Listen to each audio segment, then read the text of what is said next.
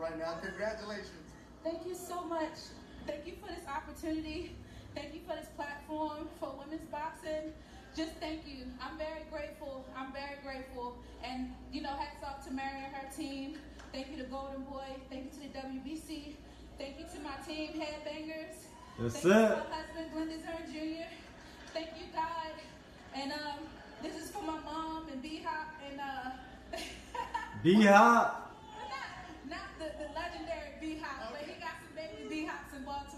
There it is. Now back to the fight, though.